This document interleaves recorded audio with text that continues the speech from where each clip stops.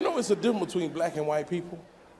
People say they're not, but it is. If, if you go in an all black club tonight and a white person walk in, black people ain't gonna say nothing because we don't care. As long as you're not causing problem, we don't give a f- A white, you could be in an all club night jamming, and they be like, hey man, a white dude they walked in, be like, I don't give a f-. But let the table turn. Let it be a brother walking in a redneck bar. The music will stop. As soon as he hit the door, ding, ding, ding, ding, ding. God damn it, who let you in here? Somebody killed the doorman because that son is slipping.